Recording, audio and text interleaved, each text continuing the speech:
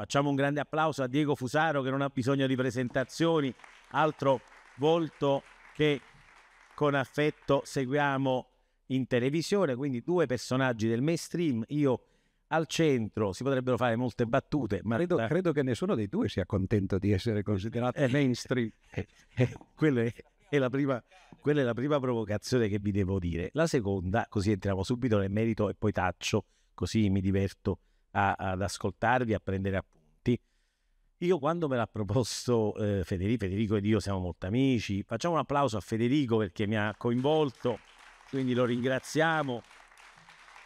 Mi ha promesso so che ci sono un sacco di applausi spontanei. Sì, sp- molto spontanei. Io lo faccio per tenerli svegli, così diranno: Ma oh, questo chissà, chissà che dice, oh, questo chissà che dice, quindi si alza la, la soglia di attenzione. Ma al di là di questa battuta, io sono veramente orgoglioso di questa scelta di Federico, spero che non si penta, perché quando mi ha detto devi moderare Pier Giorgio Di Fredi, ho detto ma eh, tu ti rendi conto che, che, che, sono due, ecco, qua vediamo sulla prima cosa, spero intelligente, poi vediamo se loro la, la accettano. Stiamo parlando di due colonne del pensiero laico. Tu vai a dire a un mezzo prete come me, modera, su un tema, poi mi ha detto il tema, ha detto le intelligenze artificiali. E allora io gli ho detto di sì perché? Perché come presidente della Fondazione Innovation, il mio padre spirituale, il padre spirituale della Fondazione Innovation, che si occupa di promuovere la cultura della vita, è Monsignor Paglia. Tra le cose che fa la Fondazione Innovation, gli stati generali della sostenibilità, dove poi oggi abbiamo parlato pure delle giornate internazionali della libertà a New York. Quindi ho detto, mo quasi quasi, io non sono modero, ma rappresenterò, e qua il peccato di presunzione, rappresenterò quel mondo cattolico che io spero, se siete d'accordo, sull'intelligenza artificiale sta facendo tantissimo, perché il mondo cattolico vuol dire il Santo Padre, vuol dire Paolo Benanti, quel prete che la Meloni ha nominato, il francescano, lo avete presente, no? che ha nominato capo dell'autority su questi temi del digitale, lo stesso Monsignor Paglia che poi tra virgolette per anzianità è un grande e quindi ci eh, tiene tutti lì pronti a, a ragionare su che cosa? Sullo sviluppo integrale della persona umana. Quindi in apparenza un matematico, un filosofo, già sembrerebbero mondi lontanissimi, accomunati dalla cultura scientifica, dall'adesione al pensiero positivo e quindi anche se volete alla speranza, no? Perché pensiero positivo vuol dire comunque che alla fine finché c'è vita c'è speranza. Poi correggetemi sempre, quindi prendi nota se Dedius sta dicendo, ma lo metto a posto io. E eh, io ci tengo moltissimo a invece farvi notare come alla fine della fiera sono convinto che questi campioni del laicismo, questi personaggi che vi ho offerto, il Santo Padre, Monsignor Paglia, Paolo Benanti e tutti i vari eh, amici accoliti come me che seguono questa idea che non dobbiamo, ecco altro punto sul quale dovete intervenire, non dobbiamo avere, esatto, quello no, lasciamolo stare, non dobbiamo avere paura dell'intelligenza artificiale. Di fatto, pensateci, già viviamo, grazie all'intelligenza artificiale abbiamo migliorato tanto la medicina, grazie alle intelligenze artificiali facciamo delle cose in medicina che erano impensabili 5-10 anni fa. Io mi occupo sempre con la fondazione anche di ricerca presso il Policlinico Gemelli ed è stato fatto grazie allo sviluppo scientifico un salto in alto per il quale non bisogna avere paura. Ma ci sono i ma e io sono convinto che a questo punto, eh, anche grazie alle loro produzioni di libri, in particolare c'è del Marcio in Occidente, quest'estate ce lo siamo, ce lo siamo scambiati, quindi ce lo siamo sorbito lo siamo sorbito, no? Anche perché poi il personaggio merita, voi lo conoscete, il personaggio non è un anticapitalista eh, ma manieristico e quindi un personaggio interessantissimo e quindi scrivere c'è del marcio in Occidente eh, è veramente stato insomma una cosa che ti aiuta davvero a riflettere. Quindi in questo c'è anche il mio grazie a ciascuno di voi. Bene, io me ne vado, no, me ne vado, no, sto qua, però dovete, ecco, dovete veramente a questo punto prendervi il vostro tempo e dire con tutta onestà c'è da avere paura, c'è da avere speranza, il bicchiere è mezzo pieno o mezzo vuoto? Prego professore. credo che sia il diritto dell'età, non è piacevole da... Eh, però insomma, in effetti eh, ho quasi il doppio dell'età di, di Diego. Eh, volevo dire due parole tanto per cominciare sulla Chiesa Cattolica e... Eh, il libro tratta, che libro tratta? No, ma l'intelligenza artificiale perché abbiamo sentito, non so se l'avete sentito, ma eh, si può leggere in rete il discorso che ha fatto eh, Papa Francesco eh, quando sono arrivati i, i, capi di Stato in Puglia nel G7 e lui ha parlato di intelligenza artificiale che è un po' fuori dal suo campo, no? diciamo così. No? E, eh, però se uno legge quel discorso ci sono alcuni passaggi che fanno un po' drizzare i capelli, no? perché si vede chiaramente che non c'entrano niente e che, eh, e che tra l'altro non sono nemmeno corretti quando lui ha quest'idea di come si programmano i computer e così via. Allora ho chiamato padre Benanti che conosco, con cui abbiamo fatto appunto eh, alcuni, eh, alcuni dibattiti e gli ho detto ma cioè, l'hai scritto tu questo e lui di lascia perdere dice perché in realtà si è scoperto che i discorsi del Papa poi si fanno esattamente come potrebbe fare l'intelligenza artificiale, cioè ne fa un pezzo uno, ne fa un pezzo l'altro, ne fa un pezzo l'altro. Poi ci dovrebbe essere qualcuno naturalmente di naturale no? che mette insieme le cose e che però cerca di evitare che ci siano delle contraddizioni. No? E invece no, perché poi tutti sono gelosi di contribuire perlomeno una frase, no? una mezza pagina a quel discorso. E io credo che, eh, a parte Padre Vedanti, che, che sicuramente è un esperto, Monsignor Paglia è un entusiasta, eh, naturalmente no, io lo, lo, lo, conosco da tanti anni, anche con lui ho fatto dibattiti ad Assisi addirittura, no, dove ci sono, i, come sapete voi, i francescati, lui è molto così focoso, no, perché fuochi di paglia naturalmente, come dice il, il suo nome. Io penso, eh, tu hai fatto una domanda, credo, cioè se bisogna aver paura dell'intelligenza artificiale. Tanto per cominciare, eh, eh insomma, l'intelligenza artificiale non è una novità. È una novità perché eh, da un paio d'anni è arrivato questo giocattolo appunto che si chiama ChatGPT con cui molti di voi avranno giocato, ma l'intelligenza artificiale è nata nel 1950, anno santo, eh, anche l'anno in cui sono nato io, quindi alla mia stessa età, 74 anni. Quello è il momento in cui Turing se l'è, se l'è eh, immaginata e ha scritto quei famosi articoli, uno dei quali si chiamava appunto intelligenza artificiale. E eh, tra l'altro di applicazione dell'intelligenza artificiale ce ne sono state decine eh, ho sentito parlare prima di medicina, per esempio, Beh, il primo sistema esperto eh, che eh, curava malattie del fegato, che si chiamava MySyn, è degli anni, fine anni 60, inizio anni 70, quindi sono 50 anni. Eh, quello che oggi eh, viene considerato come intelligenza artificiale però è proprio quello che sognava Turing, cioè di avere una macchina che in realtà ha un'intelligenza generalista e non specifica come possono essere appunto i sistemi esperti che si interessano di cose molto particolari no? e che risolvono benissimo ma solo quei problemi lì. Beh, quella invece in realtà è ancora lungi da venire, perché la chat GPT, dico due parole poi eh, certo. così per, per, capire anche che cosa, che cosa succede, la chat GPT è imbarazzante per il modo in cui procede perché voi gli fate domande o le fate it, eh, no, non, non, non, abbiamo il neutro noi in, in Italia, no? quindi le fate domande no? e, e, e, lei eh, o, o, lui vi risponde.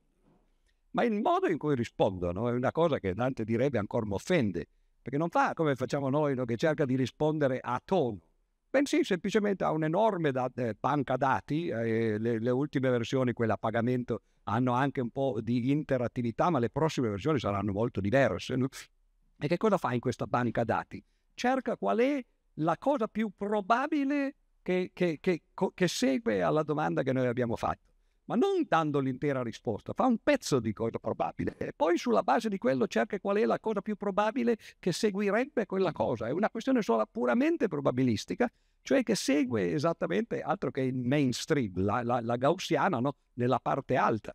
E quindi eh, da quel tipo di intelligenza artificiale non potremo mai avere delle risposte che sono veramente originali, bensì soltanto delle cose più trite e ritrite. La cosa sorprendente e, e quasi eh, imbarazzante è che a noi sorprende perché è così vicina al pensiero umano che noi diciamo ma allora sta pensando.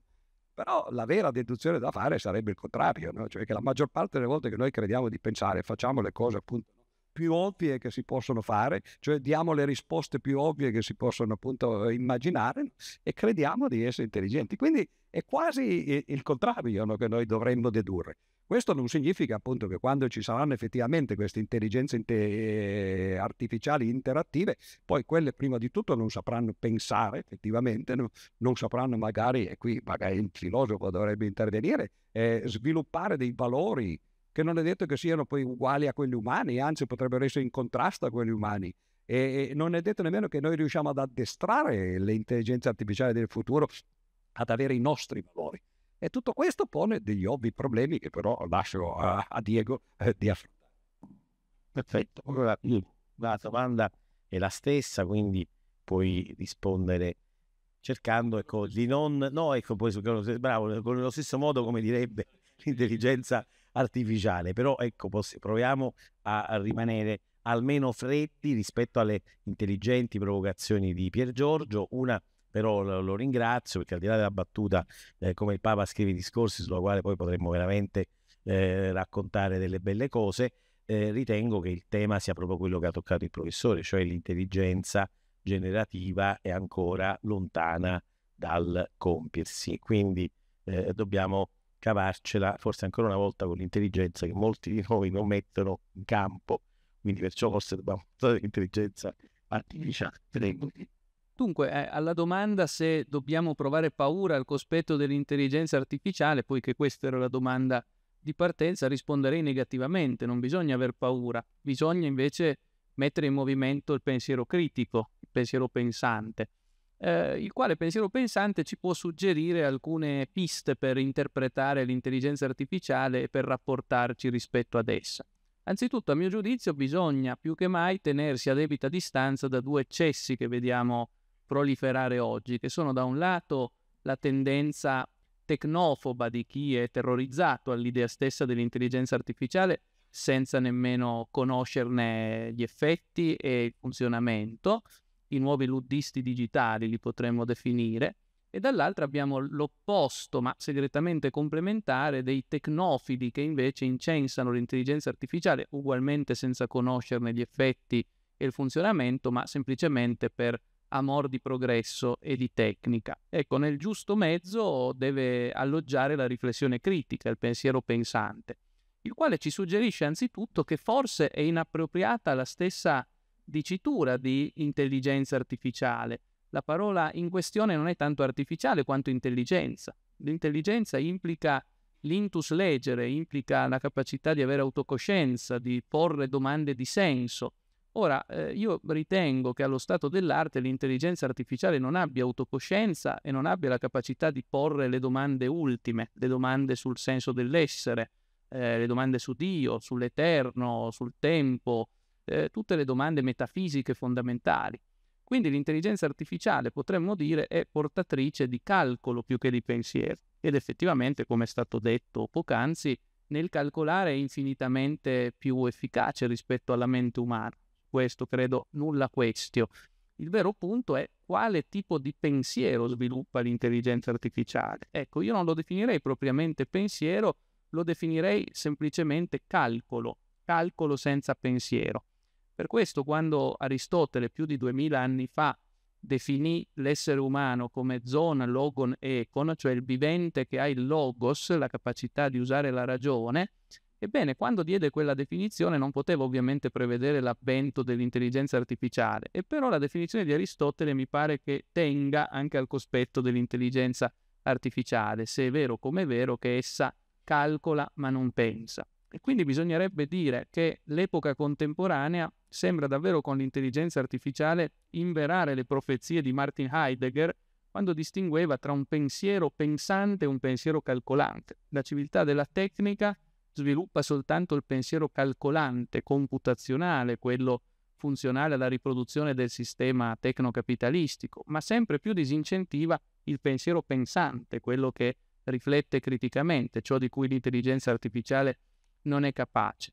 E allora chiudo questo primo intervento ricordando una bellissima espressione che utilizzava Henri Bergson quando diceva in relazione all'epoca della tecnica che più che mai vi è bisogno al cospetto del dilagare della tecnica di un supplemento d'anima. Di questo abbiamo bisogno oggi per eh, affrontare e per eh, confrontarci con giusta misura e senza gli eccessi prima evocati con l'intelligenza artificiale.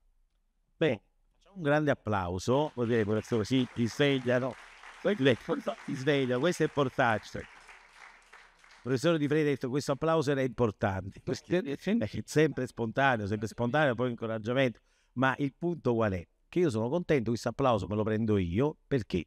Perché eh, alla fine è uscito quello che volevo sentire, cioè l'incipit di questo dibattito poggia intanto, bellissimo questo richiamo al pensiero pensante rispetto al pensiero calcolante. Ed è proprio vero, è proprio vero perché l'intelligenza artificiale in questo momento è una potenza di calcolo della quale probabilmente per certi versi dobbiamo avere paura ed è il tema dell'uso magari nelle armi di distruzione di massa perché mettere a prendere una decisione, una roba del genere, vuol dire probabilmente accelerare e quindi già perdere quel tempo prezioso per comprendere. Figuratevi con una capacità di calcolo così potente. Però allo stesso tempo è uscita fuori anche questa seconda considerazione che alla base della società, dell'uomo, della società umana ci deve essere qualcosa, probabilmente l'anima, no? È uscita fuori anche questa frase. Quindi io mi, mi tengo per buona questa prima parte perché mi conferma il fatto che dobbiamo metterci in cammino e quindi ora vi chiedo quali potrebbero essere le parole sulle quali dobbiamo riflettere come società per non avere paura. Io penso la partecipazione, perché a questo punto un dibattito del genere ci fa tornare a casa, almeno che raccontiamo ai ragazzi, oppure magari incominciamo a comprendere che non dobbiamo avere quei due atteggiamenti sbagliati, perché molti di noi, vi ricordo, per molto meno, cioè solo per l'uso del telefonino, a volte rinunciano, utilizziamo ben poco di questi, di questi strumenti. La partecipazione, dicevo, ma magari la consapevolezza, quel pensiero critico, ecco l'avete detto entrambi, quel pensiero critico che è l'intelligenza umana. Quali sono le parole che, sulle quali dobbiamo tornare a riflettere, professor Di Fredi? Una sicuramente non è anima, ma, eh, no, ma eh, volevo eh, però fare anche un po' una chiosa naturalmente, no? perché voi tutte e due no, eh, prendete per scontato il fatto che ci sia una differenza fra il pensiero pensante e il pensiero calcolante, no? ma io non sono affatto sicuro che sia così.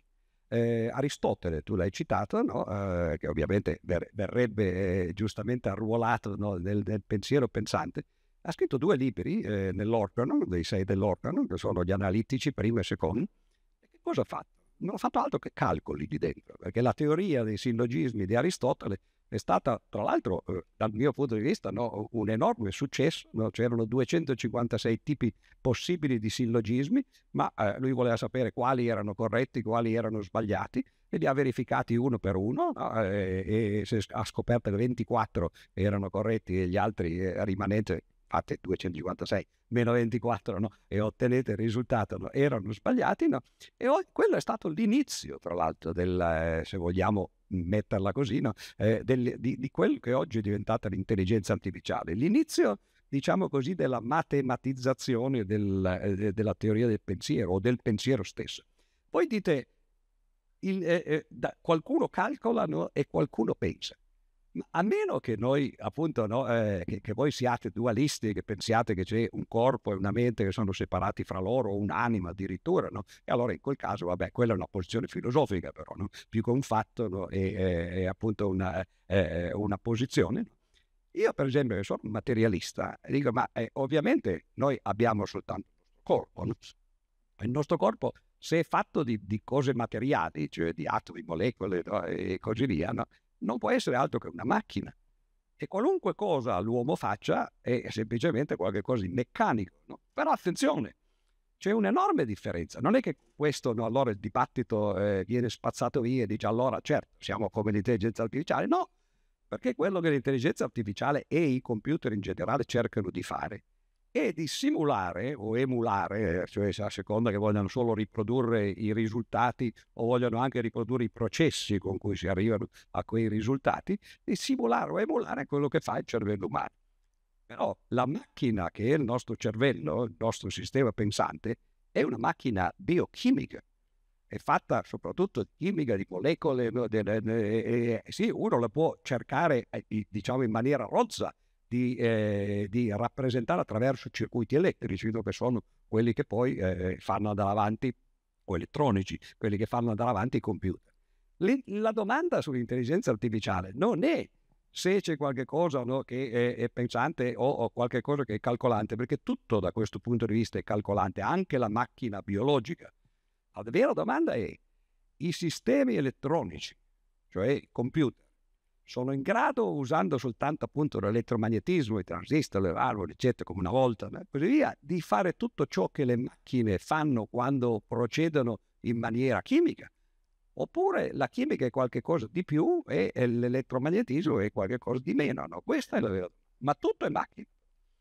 Perché quando tu studi il corpo umano, so, ci sono dei medici qua per esempio, no? e i medici ormai lo stanno facendo in questo modo, no? stanno capendo che i meccanismi sono molto più complessi quanto riguardano il nostro corpo e in particolare il nostro cervello di queste povere macchine che sì sì magari avranno eh, eh, tanti circuiti, però tutto sommato si, si, si maneggiano e si controllano molto meno. È una bella domanda ma non è una domanda che va contro il meccanicismo, no, inteso in questo senso più lato. Oh, preferisco, cioè chiamato filosofo, preferisco prima il collega vero che risponde prima, poi ti dico pure la mia, sempre da mezzo prete. Prego. È interessante il, il, il, richiamo ad Aristotele, perché naturalmente è vero che Aristotele scrive l'organo, come scrive anche testi biologici, gli vengono attribuiti anche gli scritti meravigliosi su questioni quasi soprannaturali, quindi certo Aristotele ha scritto di tanti argomenti, però il, il, cuore della filosofia di Aristotele è poi la metafisica, la metafisica è quella non si lascia ridurre al pensiero calcolante di cui dicevamo, anzi Aristotele è ben convinto che sulle questioni ultime ci sia la domanda fondamentale, quello che lui stesso chiama eh, il eh, to ei aporumenon, cioè il sempre indagato, il problema dell'essere. E di questo problema l'intelligenza artificiale non è in grado di sollevarlo neppure. Del resto, se ci riflettete un istante, è interessante anche il fatto che siamo noi a porre il problema sui limiti e la grandezza dell'intelligenza artificiale, ma non è lei a farlo su se stessa e sul nostro rapporto con lei. Anche questo è un aspetto non trascurabile della questione. Io sono fermamente convinto che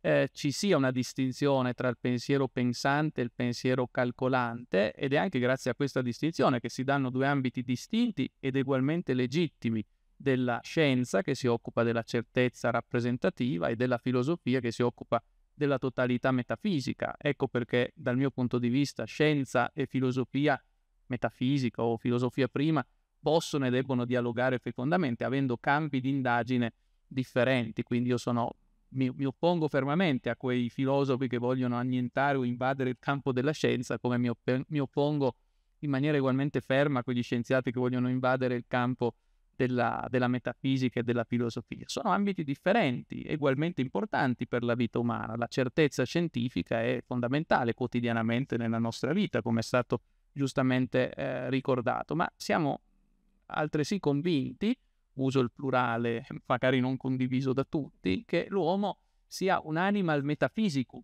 cioè si pone anche delle domande metafisiche fondamentali, Dio, l'essere, l'anima, rispondendo in varia maniera, poi si intende, eh, il bisogno della totalità, l'interrogazione sulla totalità, quella che viene investigata dal, dalla religione, dalla filosofia, dall'arte, non dalla scienza, che ha legittimamente un suo campo di, di indagine diverso. Del resto, se ci pensate, giusto per tracciare un campo di, di distinzione, è di fronte a un'opera di Caravaggio. Che cosa ci dice la? Ci può dire quanto è pesante, ci può dire i colori utilizzati, ma non ci dice nulla dell'esperienza di verità messa in opera. Lo stesso si potrebbe dire a proposito del senso dell'essere. Quindi io credo che sia opportuno favorire il dialogo fra la scienza e la filosofia nel rispetto dei campi differenti e riconoscere che, come mi piace spesso ricordare anche ai filosofi, che l'intelligenza artificiale purtroppo eh, sottrarrà molti posti di lavoro, come già stato detto, per l'ovvia ragione che nel calcolo è infinitamente più brava di noi, ma non li sottrarrà i filosofi, perché non, non potrà sostituirsi alla filosofia. Eh, vero è che il posto di lavoro per i filosofi difficilmente c'è in ogni caso, però eh, que- quelli che ce l'hanno non, dovrà, non dovranno avere una... toglierà quelli che, che ci sono. Per cui ecco, direi che la parola chiave certamente è partecipazione, eh, ma è più che mai eh, recupero della dimensione del pensiero pensato. In un'epoca in cui tutto preme verso il calcolo e la furia della misura e della quantità, eh, bisogna recuperare la dimensione metafisica del pensiero pensante, della capacità di, di prendere coscienza che il calcolabile, che pure è importante, non esaurisce lo spazio esatto. delle cose. Più che un dualismo, ti abbiamo risposto praticamente insieme, io con la voce che viene dal ventre, eh, eh, praticamente non c'è dualismo perché servono tutte e due le dimensioni, questo sicuramente. Per cui ti invito a questo punto a rispondere alla mia domanda, quali sono le parole che dovremmo suggerire? Ad esempio, abbiamo qua in sala tanti eh, papà e mamma, tanti datori di lavoro, avremmo da dire ai ragazzi un po' più giovani che stanno completamente chinati qua sopra, guardate, abbiate un pensiero critico, riflettete. Io credo che dobbiamo, dobbiamo dire qualcosa. Ad esempio, io ogni volta che eh, tengo questo coso in mano e dico un viaggio, no? questo immediatamente su Instagram mi suggerisce tutti gli acquisti che io cerco, ma veramente, fatelo pure voi e vedete su Instagram le pubblicità che vi vengono, quell'intelligenza artificiale lì vi suggerisce tutto e vi dà delle risposte che a volte tu ti metti paura perché non ti ricordavi di averlo vicino, ma che ti ha sentito e quindi eh, me solo viaggi. Vabbè, lasciamo stare, se no vi faccio racconto le barzellette poi da napoletano, questo viene qua ci fa sorridere, non voglio farvi sorridere, voglio farvi pensare. E allora, per Giorgio, che cosa suggerisci come parole? Quali sono le parole che la nostra società mette sotto i piedi. Siamo più liberi, questa è una società democratica. O un confronto del genere è veramente un salotto buono perché abbiamo avuto l'intelligentore che ha detto no, voglio fare una cosa sul futuro, New Deals, venite qua. Che cosa dobbiamo sperare me l'hai già fatta prima la stessa domanda. Io non hai risposto perché non hai risposto. Eh, volevo rispondere momentaneo. Eh, continua a scrivere, io te la rifarò anche Alla fine rifarò. Bravo, questo. No, volevo dire che è troppo interessante no, questo fatto. Eh, che ovviamente un filosofo pensi no, che l'essenza del pensiero no, è farsi domande filosofiche. No? Eh, questo è naturalmente comprensibile, no? però se avessimo invece un artista, per esempio un musicista o un pittore, probabilmente lui farebbe la stessa cosa, no? perché tu, poi siamo tutti fatti in questo modo, no? e uno potrebbe dire no, sì, vabbè, certo, eh, la filosofia è una bella cosa, no? però la vera essenza di quello che è, essere umani è per esempio comporre musica. E voglio proprio vederla l'intelligenza artificiale che comporrà musica, oppure il pittore che dice la stessa cosa, no? dice rappresentare il simulacro del simulacro, come lo chiamerebbe Platone, e voglio vedere l'intelligenza artificiale fare queste cose. Però la cosa interessante no?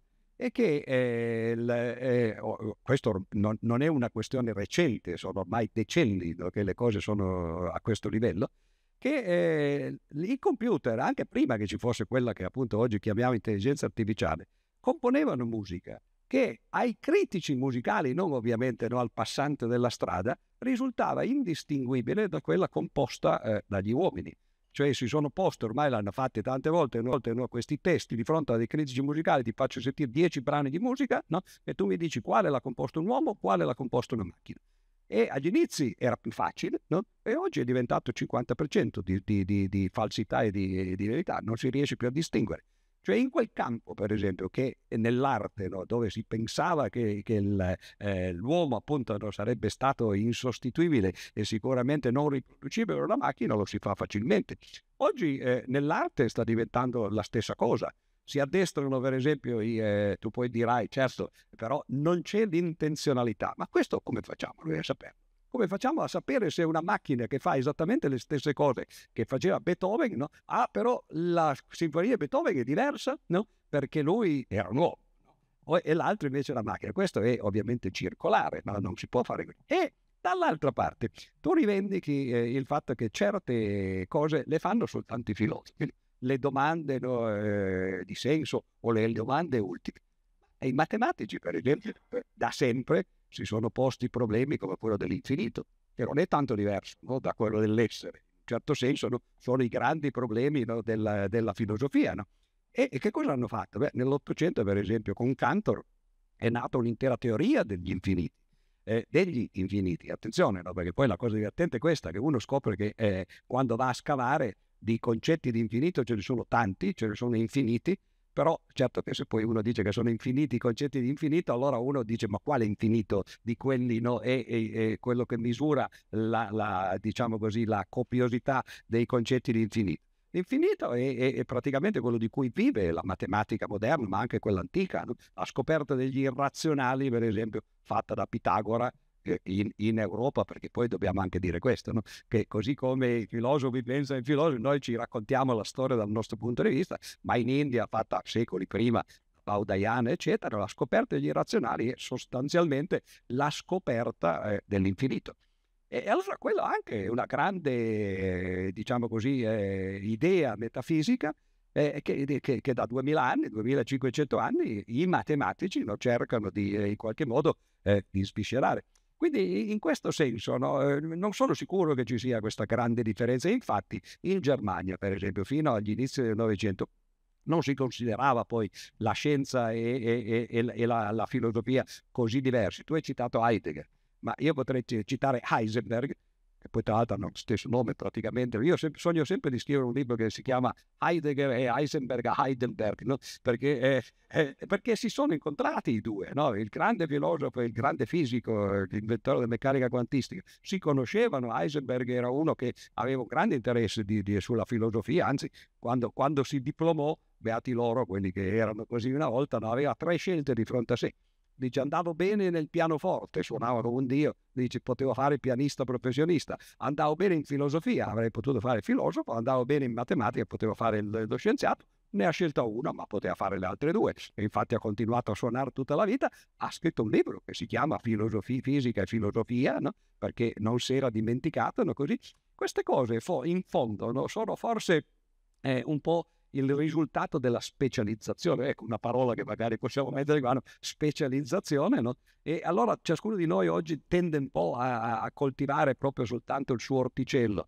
In fondo sono aspetti diversi di, di, di, di, un'unica realtà e sarebbe bene che ciascuno di noi appunto no, studiasse quelli degli altri per capire che in realtà sono solo punti di vista diversi no? E come que- quella storiella indiana no? che, di questi che, che, che, stanno, i ciechi che stanno eh, studiando l'elefante no? e uno tocca la pancia e dice ah una cosa, sembra una botte tutta rotonda, l'altro tocca la proboscite, una cosa strana, tutta molle che si muove, no? toccano le zanne eccetera, però stanno soltanto toccando alla cieca le, le, parti di un unico essere no? che, che, che, nessuno vede interamente. E vi ricordo la bella testimonianza del bresciano Loris, eh, mi raccomando, sulla questione della musica, quindi eh, abbiamo, l'abbiamo fatto, quindi dopo andiamo a sentire anche questa musica composta dall'intelligenza artificiale. Eh, Diego, a questo punto il professore ci riaccompagna sulla questione della complessità. Ecco, quale messaggio vuoi eh, lanciare e anche tu, torniamo alle nostre famose parole, già hai risposto prima a qualcuna, ma quale altra aggiungeresti? Forse il pensiero critico che dicevi prima richiede una consapevolezza, un dialogo tra generazioni. Eh, dobbiamo avere paura ecco, del futuro, questa potrebbe essere la, la, questione, che poi è una delle domande più antiche della storia dell'uomo, cioè del dimando. È inutile avere paura del passato. Ecco, quello... bravo, il passato è passato, scusdiamoci, ho passato. Ritorno a quel eh, caso. in quel caso. Ecco. Sì, io direi come parola chiave del nostro presente una specificazione di quello che, che già avevo detto. Abbiamo bisogno, credo, oggi di una problematizzazione critica di ciò che appare ovvio. Sembra che la nostra sia un'epoca che tende a, ad accettare supinamente ogni cosa con formule di dogmatismo e di, e di creduleneria talvolta, quindi la problematizzazione critica anche al cospetto dell'intelligenza artificiale, evitando i due opposti segretamente complementari di cui dicevo. E questo ci deve indurre a problematizzare ciò che appare ovvio, anzi questo forse è il motivo originario della filosofia, la problematizzazione dell'ovvio, la discussione critica di ciò che appare non discutibile criticamente. Eh, sotto questo riguardo evidenzierei alcune criticità dell'intelligenza artificiale. Ad esempio, eh, il fatto che tenderà a produrre sempre più uno scenario analogo a quello descritto dalla pellicola Matrix del 1999. Assistiamo davvero a eh, una sorta di eh, rimpiazzamento del, dell'uomo con la macchina.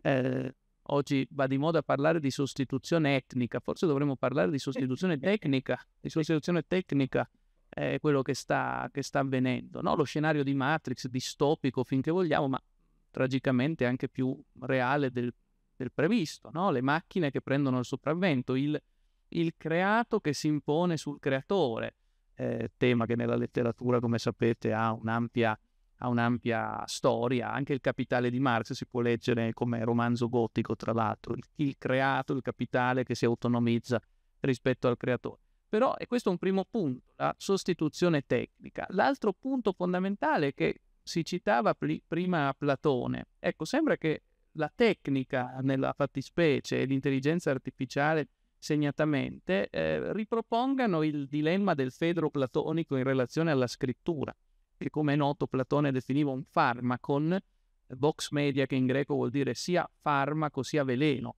eh, la scrittura, diceva Platone, è un farmaco perché grazie alla scrittura non dobbiamo più ricordarci le cose, dato che sono poi lì scritte, sempre disponibili, però allo stesso tempo è un veleno che uccide la capacità di ricordare. E allo stesso modo il sospetto che eh, possiamo legittimamente avanzare è che l'intelligenza artificiale ci dispenserà sempre più dalla capacità di pensare. Eh, da che ci fornirà risposte già pronte. Nel caso degli studenti è tragicamente già in parte vero, dato che per, loro, per, svolgere i loro compiti si affidano sempre più all'intelligenza artificiale, comodissima sicuramente, ma che dispensa poi dal pensare. E un altro punto critico da non trascurare, procedo in maniera un poco disorganica, ma eh, un altro punto critico da non trascurare è eh, l'utilizzo politico che potrebbe esserci di questo. Finora non, non l'abbiamo toccato questo aspetto, ma mi pare degno della massima attenzione. Gli usi politici e di sorveglianza che potranno essere fatti dell'intelligenza artificiale. Eh, banalmente si diceva sempre che nella Germania dell'Est i cittadini erano spiati, ed era vero naturalmente.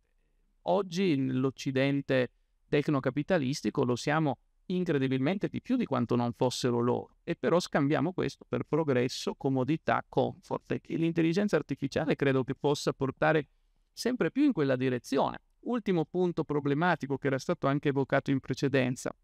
La tecnica non ha etica. Questo è un punto non trascurabile. La tecnica e l'intelligenza artificiale non pongono quesiti etici.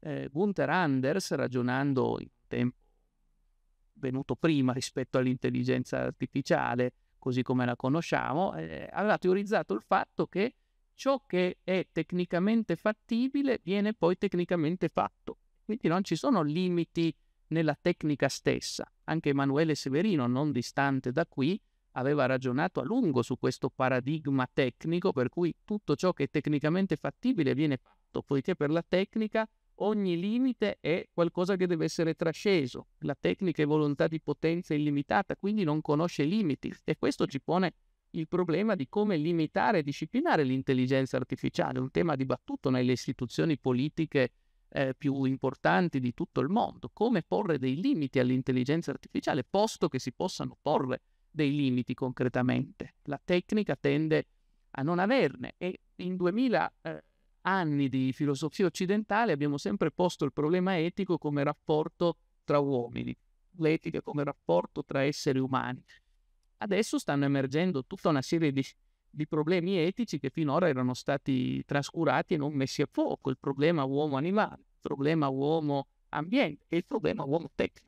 Quale etica eh, all'altezza dei tempi della tecnica? Questi sono problemi, credo, fondamentali che rientrano alla voce problematizzazione del doping di cui diceva. Bellissimo, anche perché ringrazio tanto Diego, anche perché l'ultima eh, questione, l'ultimo giro di tavolo, perché ti, no, basta, basta, sì, parole, queste parole ci prenderemo a parole, poi ci prenderemo a parole perché dovremo sintetizzarle, quindi alla fine. Ma eh, io invece eh, dovendo fare l'ultimo giro perché io noto la, ten- la tensione per l'arrivo a Venezia in tempo, ma ti avevamo promesso che ce l'avremmo fatta. Eh, con inesorabilità del tempo che, che scorre, io dicevo che una delle questioni che mi piaceva affrontare, dunque l'ultima, era eh, quella di governare la complessità. Complessità, avete visto, è una parola che eh, l'hanno detta entrambi sin dal primo giro e eh, il nostro Diego ci ha portato sul tema della governance perché abbiamo parlato poco e quindi era giusto farlo, lo avevamo previsto dulcis in fundo in questo anno dove di fatto sulla carta stanno votando miliardi di persone, no? è andata a votare eh, l'India, è andata a votare la, gli Stati Uniti, hanno votato tanti in, in Europa, un continente che potrà essere vecchio e stanco, ma ricordiamoci che sebbene ci sia del marcio in Occidente, l'Occidente è la casa nostra, il nostro è il faro, o meglio, dovrebbe essere il faro delle libertà, della cosa pubblica.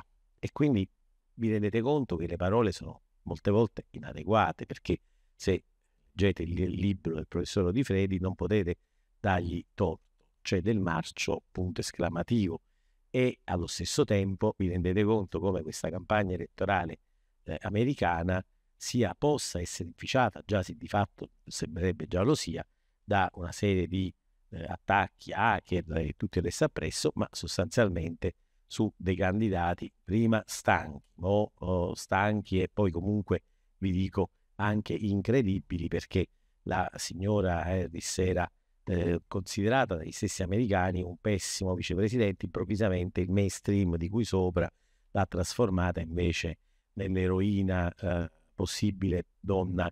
Quindi in questa, prima presidente degli Stati Uniti, quindi in questa confusione, in questa complessità, in questa nebulosa, l'intelligenza artificiale, che non è ancora, abbiamo detto, generativa, dovrebbe aiutarci e magari lo fa in tanti ambiti, la, la medicina l'ha sempre fatto da quando è, è, nata, potrebbe aiutarci di più e meglio, pensate alla tragedia degli incidenti sul lavoro in Italia, ora per fortuna stiamo un pochino, pochino ma abbiamo un'emergenza nazionale che rischia di far eh, crollare il patto sociale, perché se vado al lavoro per eh, uno stipendio che non mi consente di campare un mese, al, rischio addirittura di perdere la vita, altro che democrazia, repubblica e tutti resta appresso.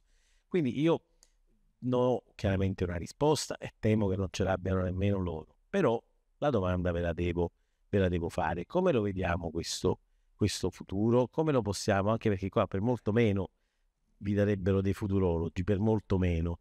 Quindi al, almeno la domanda ve la faccio perché in qualche modo, come dire, è l'occasione ghiotta per sentire la vostra opinione. E se, se, se siete d'accordo, vorrei ecco un messaggio di speranza, se siete eh, capaci. Adesso sono pochi. se non siamo d'accordo, quello E se non siamo d'accordo, dobbiamo dire che non siamo d'accordo. Ma dunque, il messaggio di speranza potrebbe essere semplicemente, mi è venuto in mente mentre tu citavi i tuoi filosofi, eh, uno che, che, io conosco un po' meglio, no? eh, che, che, è Wittgenstein, no? E nel, nel, suo secondo libro ne scrisse due, uno da vivo e uno da morto, pubblicò ovviamente, no, da morto, lo scrisse si suppone no, da vivo. E, e, la citazione che mise nel secondo, che ovviamente andava con, contro quello che aveva detto nel primo, no, eh, era interessante, non era suo ovviamente, era una citazione, no, dice il progresso appare sempre più grande di quello che è. E in questo caso, per esempio, nel caso dell'intelligenza artificiale, eh, adesso sono un paio d'anni che, che siamo tutti eccitati no, su questa cosa e sembra che ormai non si parla d'altro no, e non si deve pensare ad altro. Però eh, chi di voi ha un po' più di età, eh, di, di, anni sulle spalle e che magari lavorava già in, in quel campo, si ricorderà che negli anni 80-90 ad un certo punto c'era già stata una bolla sull'intelligenza artificiale si chiamava la quinta generazione, era stata in Giappone, no? i giapponesi avevano deciso di fare massicci investimenti eh, su, su, un tipo di macchina che appunto veniva chiamata computer della quinta generazione, che doveva in qualche modo introdurre quella che poi oggi si chiama e che e, e c'è e, e, non è stata poi così una rivoluzione enorme, no? quella che si chiama la programmazione logica, inventarono un nuovo linguaggio di programmazione che non a caso si chiamava Prolog, programmazione logica, no?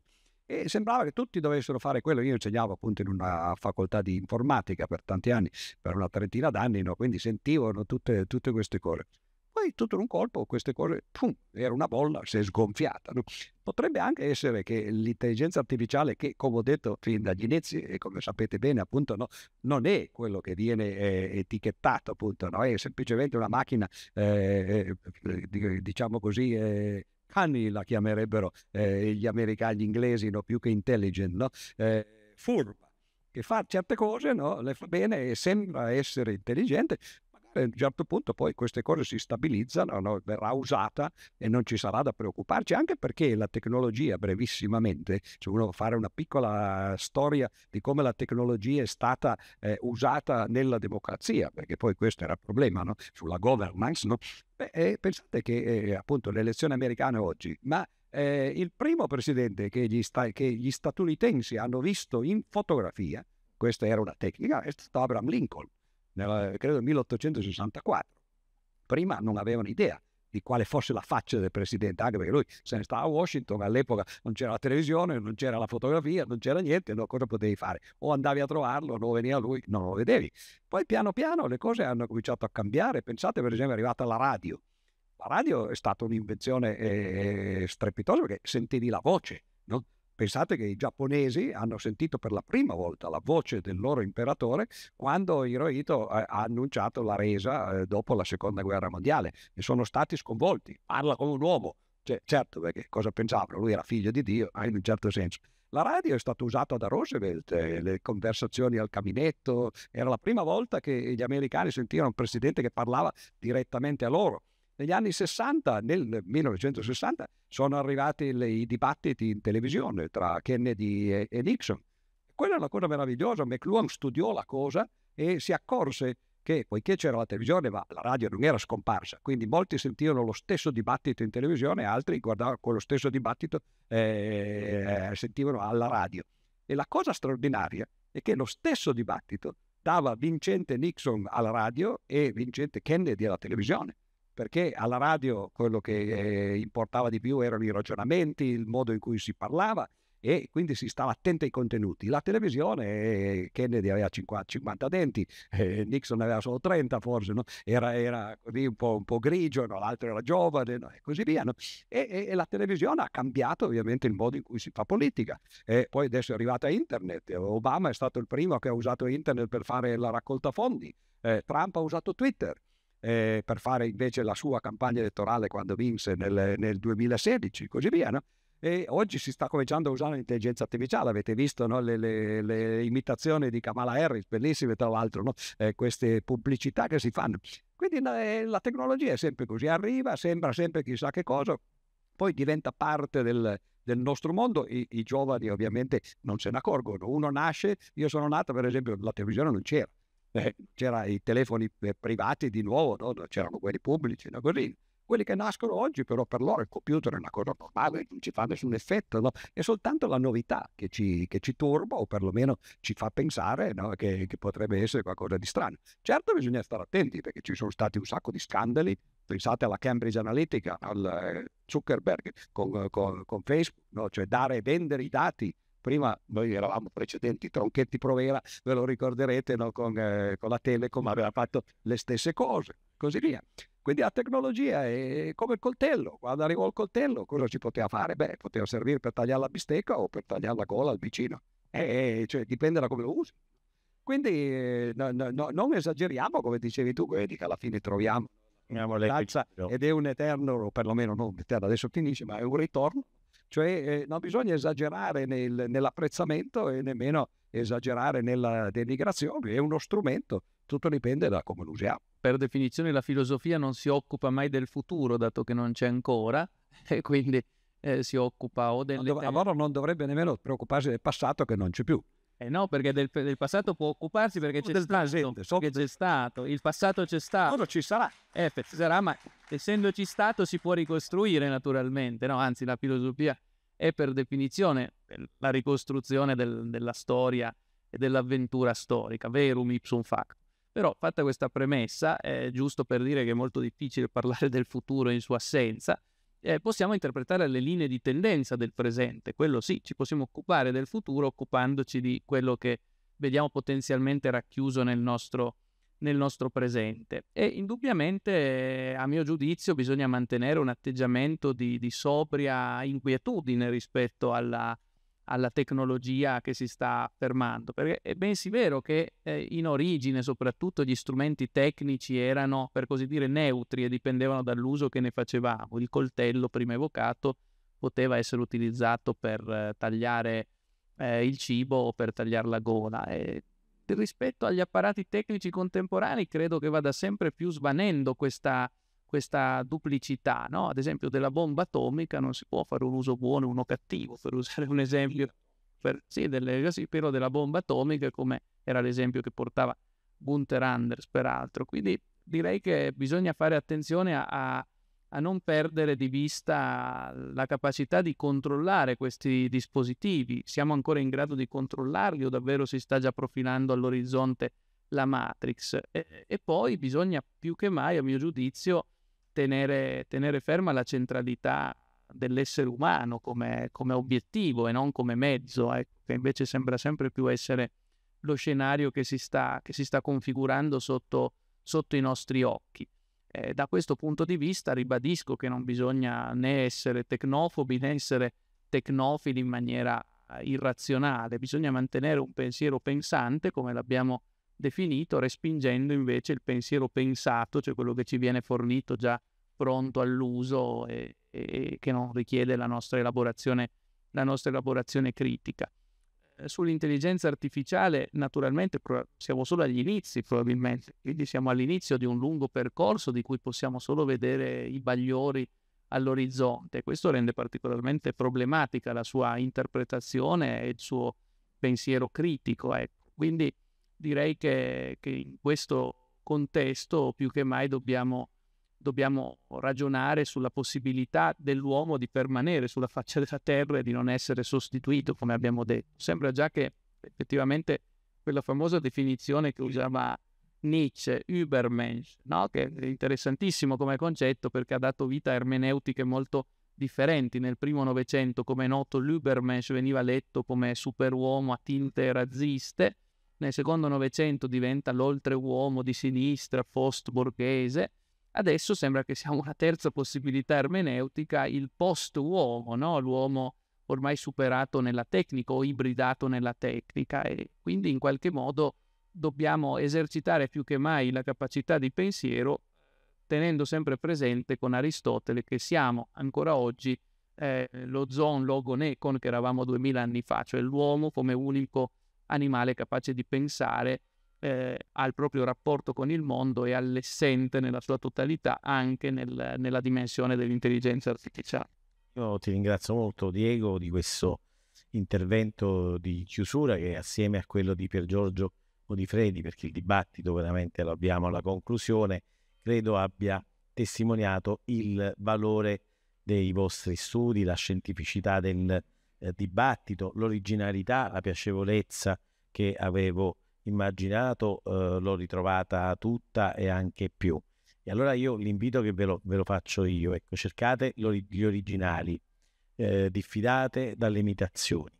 Se eh, prendiamo ancora una volta questi benedetti strumenti e guardiamo eh, i social, io credo veramente che sia un mondezzaio perché si vuole davvero eh, far proliferare dei contenuti che non sono contenuti di valore e dunque si va a perdere tempo.